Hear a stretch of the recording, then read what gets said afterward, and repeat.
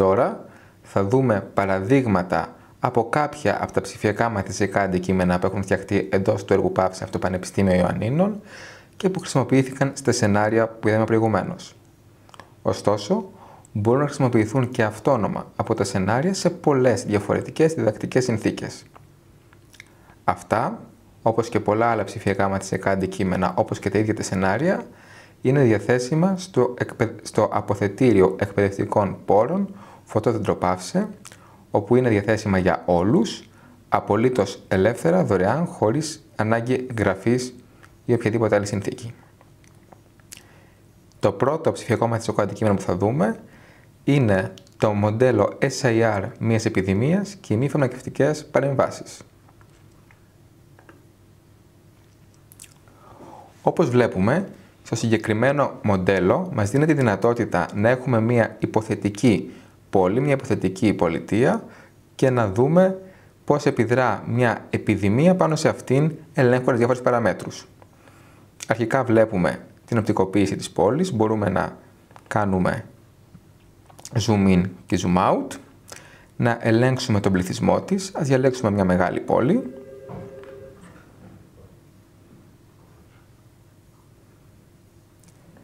ατόμων. Και αν πλοηγηθούμε εδώ πέρα, βλέπουμε ότι δεν είναι όλα τα κτίρια ίδια. Για παράδειγμα, κάνοντας κλικ εδώ, βλέπουμε ότι είναι ένα εμπορικό κέντρο. Έχει συγκεκριμένες ώρες λειτουργίας και συγκεκριμένα αριθμό ατόμων που το επισκέπτονται. Αυτό είναι αρκετά σημαντικό για τη μοντελοποίηση της επιδημίας που έχει γίνει.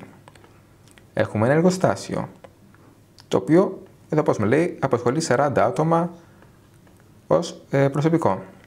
Έχουμε σπίτια, έχουμε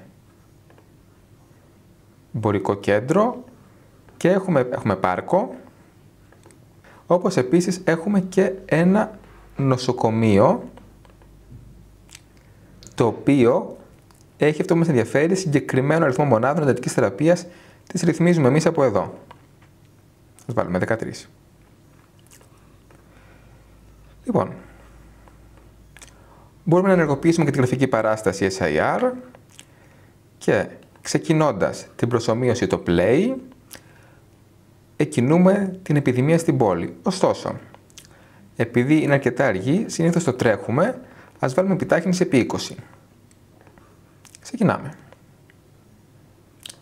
Αν παρατηρήσουμε, φαίνονται κινήσεις των ατόμων πάνω στην πόλη και αυτό γίνεται πιο σαφές αν βάλω διάφανα τα κτίρια.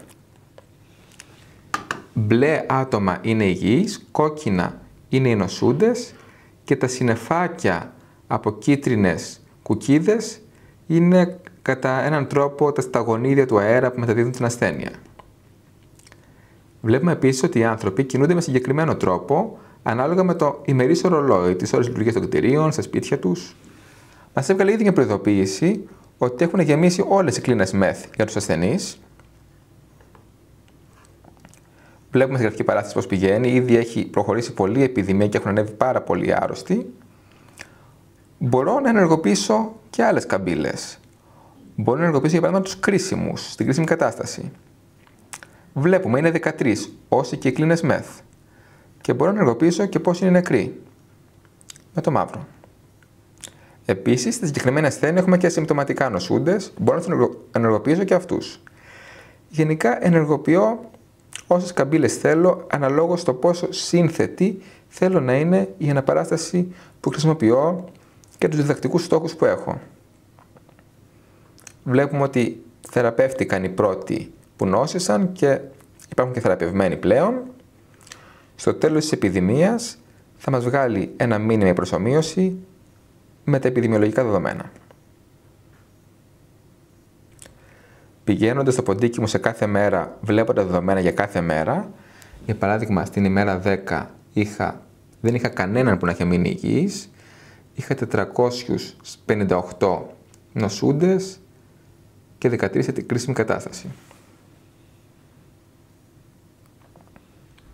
Η πανδημία ή η επιδημία τελείωσε και βλέπουμε ότι διήρκησε 18 μέρες, τη γραφική παράσταση, και μας δίνει πόσοι, μείναν, ε, πόσοι είναι οι ευάλωτοι, δηλαδή πόσοι δεν αρρώστησαν, πόσοι αναέρωσαν και πόσοι ήταν νεκροί.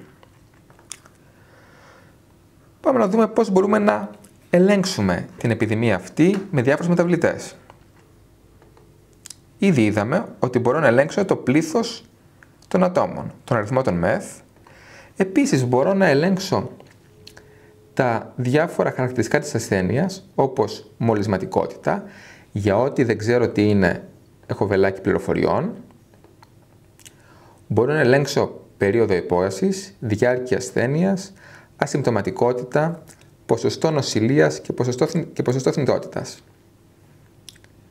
Όλες αυτές είναι ποσοτικές μεταβλητές, δηλαδή μεταβάλλονται με αριθμητικές τιμές σε ένα συνεχές εύρος.